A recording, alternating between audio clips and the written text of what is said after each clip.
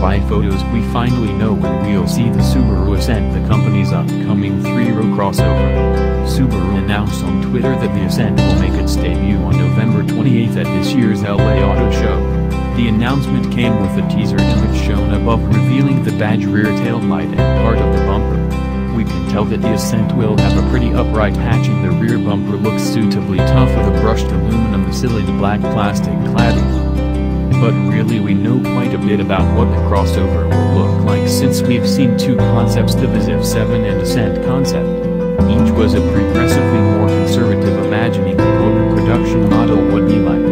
The basics involved a generally boxy shape with chiseled exaggerated fenders much like every other production Subaru. The Ascent concept also previewed a possible powertrain for the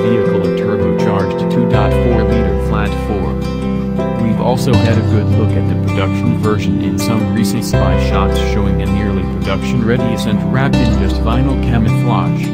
Some of the more extreme lines have been further toned down compared with the concepts but the theme of it being a bigger boxier Subaru stuck around.